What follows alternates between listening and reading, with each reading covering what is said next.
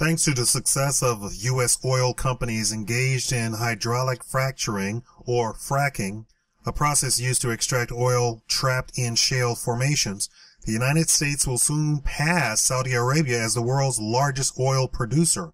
Both Saudi Arabia and the United States passed Russia for the top spot in recent years. The Economist reported on February 15th that U.S. oil produ- production reached a peak of 9.6 million barrels per day in 1970, then declined to less than 5 million uh, BPD in 2008. About that time, independent oil producers began adapting the new technologies of hydraulic fracturing and horizontal drilling, which had previously been used to tap natural gas found in shale to reach shale oil.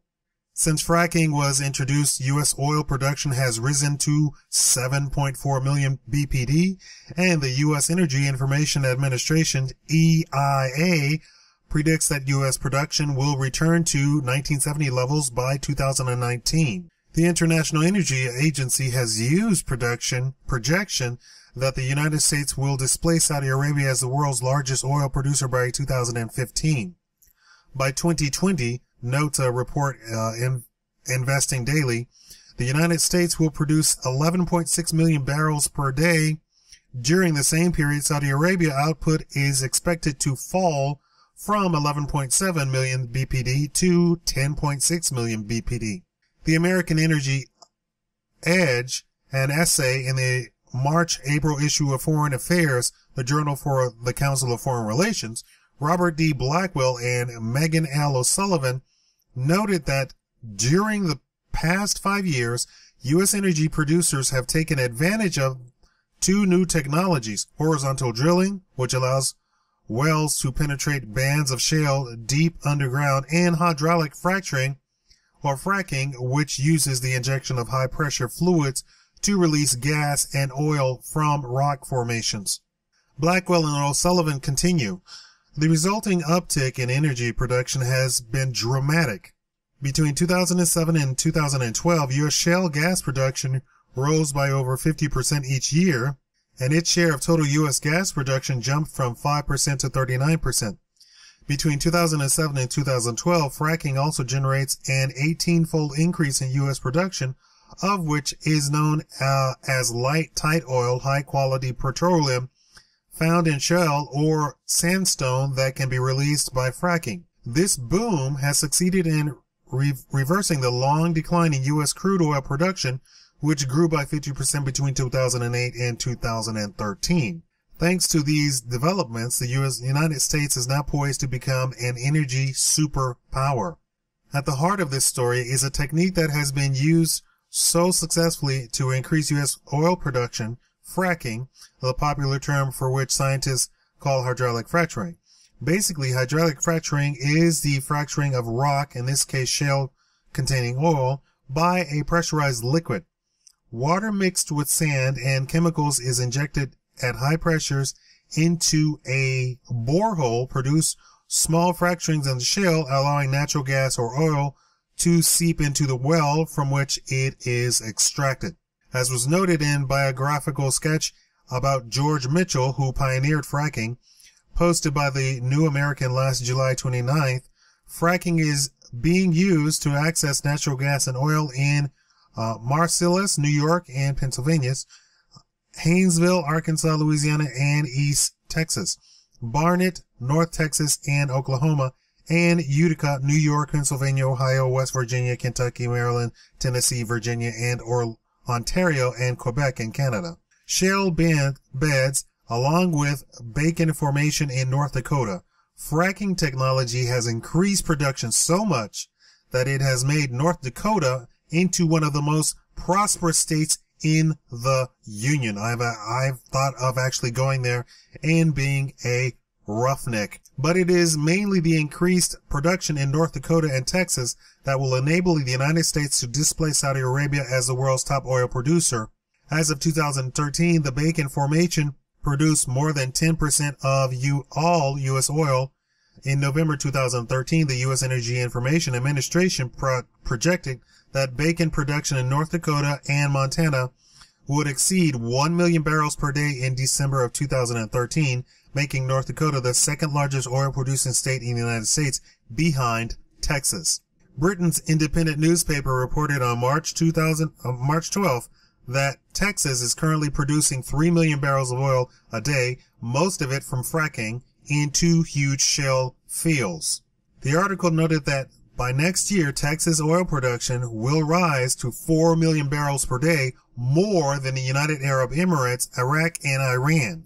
If Texas were a nation, notes the writer, it would already be the ninth largest oil producer in the world. The success of the oil boom resulting from fracking is not without its usual critics among environmental how, uh, environmentalists. However, a leading anti-fracking measure is in the works in Colorado. In January 2014, the Colorado Community Rights Network, CCRN, submitted ballot language for a proposed amendment to Colorado constituting that constitution that would give municipalities the right to ban or regulate fracking and any other industrial activity, such as factory farming and hazardous waste disposal within their borders. If the language is approved by the Secretary of State, the group will collect signatures to get the measure on the fall ballot. The amendment already highlights two separate issues. First, local rule, which even the most conservative constitutionalists tend to regard as a good thing. The other consideration, however, is that the target, I like how the article is like distinguishing that constitutionalists and conservatives, conservatism is uh, some, somehow opposed.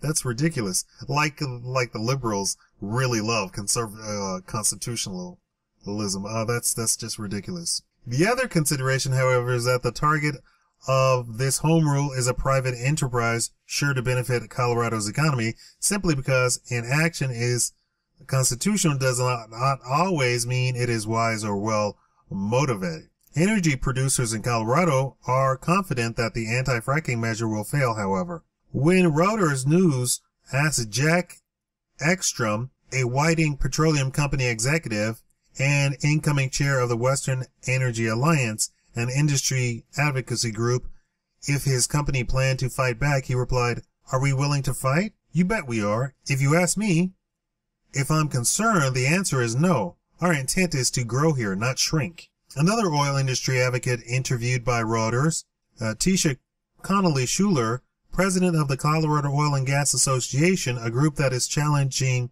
local fracturing bans, said, we're confident that common sense and economic certainty is going to prevail in the end. That's why you don't see energy companies changing their investment strategy in Colorado. Colorado Governor John uh, Hickenlooper, that's a name for you, a Democrat who will run for re-election this November, is expected to talk about the ballot me- uh, measure at this week's IHS CERAWeek conference in Houston an annual meeting of global energy leaders.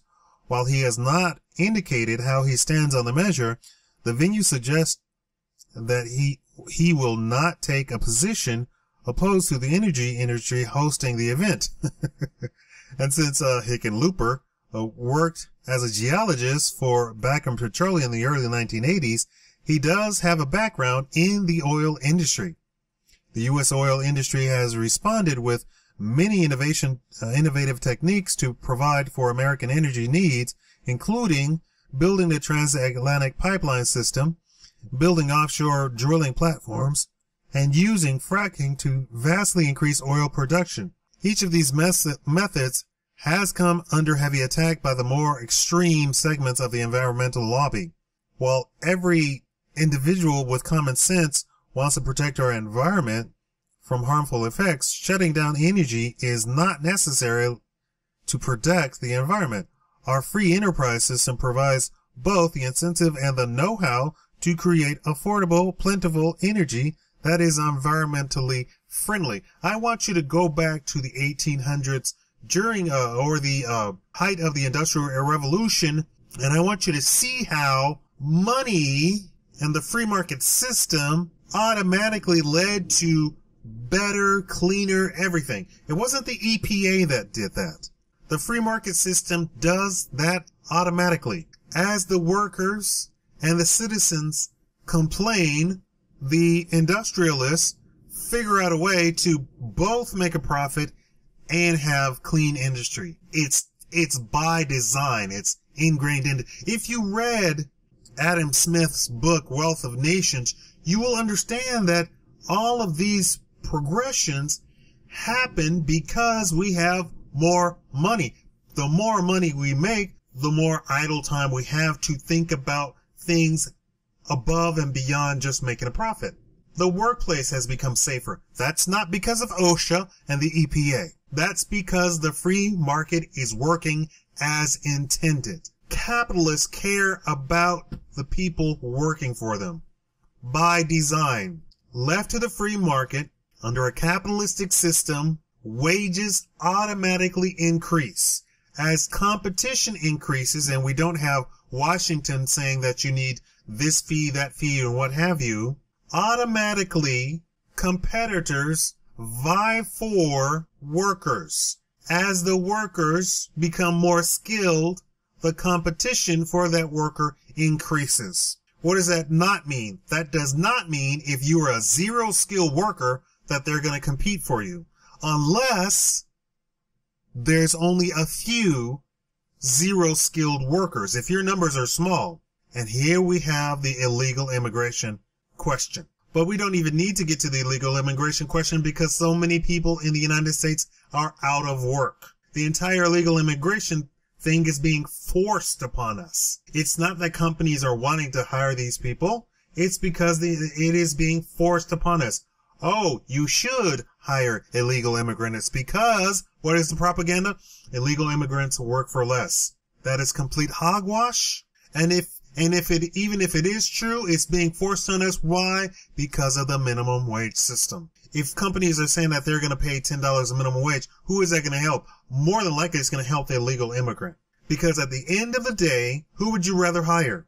Somebody for $10 who you have to cater to and, and do this and that for? Or somebody that you hire for $10 whom you can do anything to and who will never report you to anybody. If we're talking about the very bottom, bottom, bottom, bottom worker, you're going to hire the legal alien because the illegal alien doesn't complain. You can work an illegal, illegal alien for 60 hours and only pay them 40 hours. Truth. An American person, you have to pay all 40 hours for 40 hours worked. 60 hours for 60 hours worked. It's the American government and the regulations that are in the way. When we coming here, we have the environmentalists that I suspect are part of the New World Order. They want to destroy your ability to make money. And they say, oh, this, this is wrong, this is wrong, that is wrong. We have it on record that the EPA does things counter to the actual living standard of the people in the population. And as far as fracking is concerned, there is a complete debate, a complete disagreement. On the one hand, you have the EPA type of people who say fracking is terrible and horrible and you have gas in your water and this and that happened. You have everything is terrible and awful and the, it, it, it, and it destroys the environment. Oh, and it causes sinkholes that appear. On the other side of it, you have scientists who have actually gone to state by state, city by city, have tested the water, has tested everything, and has done historical documentation that says anything that is present now was present in the 60s, 50s, and 40s. If you have gas in your water, that's because you've had gas in your water for 80, 90, 100 years. Not from fracking. Fracking is not that old. If you have uh, a, a decimated area in the environment that has been decimated before fracking ever came onto the scene. It's the documentation. The other side of the debate is that it is documented that it's not caused by fracking. And for the people who disbelieve, you can actually see that the EPA documentation agrees with that side of the argument. But they'll come out and uh, spread propaganda that it's all fracking. You know, when they talk to you, they'll spread propaganda about about fracking. But if you go to the EPA and look for the actual documentation, it will show you that fracking is not the cause of any environmental problems in the various cities and states and what have you. I think the EPA should be completely disbanded. And if they're proposing legislation to put into the state constitution that the people can ban fracking, which has taken America from fifth place to first place and making America energy completely independent, then there is something far more sinister going on than this uh, uh, wish to have this utopian environmental area. And it seems that it is in league with Agenda 21. Thank you for watching the Shakaama Live Show. Please give me a thumbs up for doing all of this research. Thank you.